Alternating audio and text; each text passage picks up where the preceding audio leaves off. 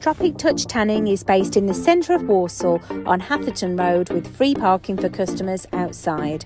As proud members of the Sunbed Association, they adhere to strict industry standards and regulations, ensuring that your tanning experience is safe and enjoyable.